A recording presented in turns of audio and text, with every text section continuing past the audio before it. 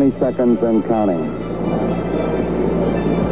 T minus 15 seconds. Guidance is internal. 12, 11, 10, 9. Ignition sequence start. 6, 5, 4, 3, 2, 1, 0.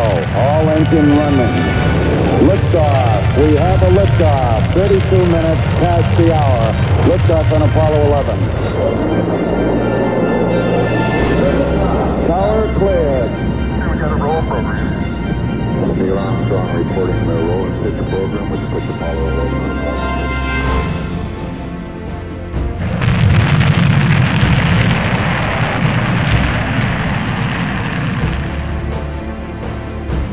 It was so eerie.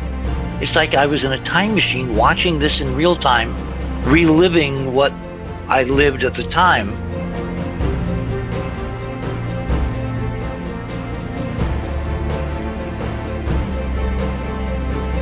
Because when you do, you're going to have opened up for you a panoply of astonishing things that should not exist above the moon.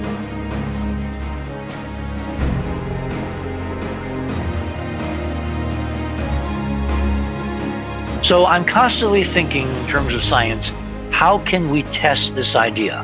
How can we subject this extraordinary, off the wall, insane proposition that the moon is covered with some kind of structure all over a combined surface area equivalent to the land area of North and South America combined, millions of square miles?